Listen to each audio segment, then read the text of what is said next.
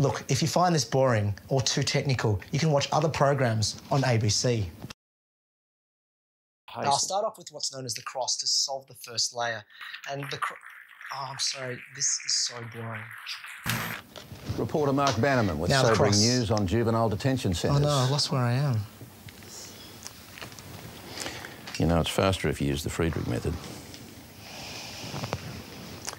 Next up, triumph or tragedy. Lawrence Leung attempts to become Rubik's Cube world champion.